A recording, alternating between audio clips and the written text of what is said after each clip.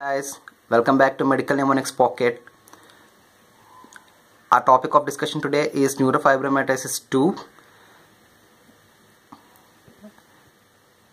which is a continuity for neurofibromatosis 1 uh, you can check out uh, the video in my channel and also the other videos of neurocutaneous tumors.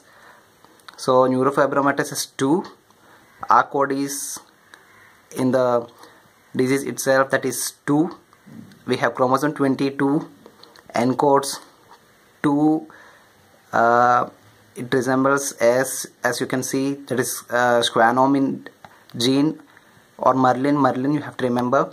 And the criteria is 1 out of 2 is diagnostic that is bilateral. Bilateral is 2 acoustic neuroma as sibling family history positive and either unilateral eighth nerve deafness.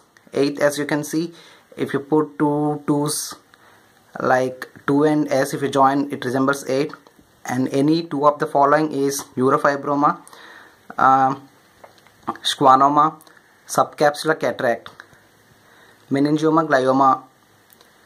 And here the tip is meningioma and glioma. It's also common in neurofibromatosis 1 schwannoma and subcapsular cataract starts with s as you can see and neurofibroma anyways we're talking about neurofibroma so you can remember that.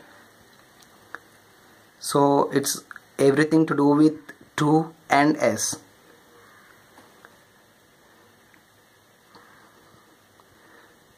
To support me please like share and subscribe for more. Thank you guys. Keep cheering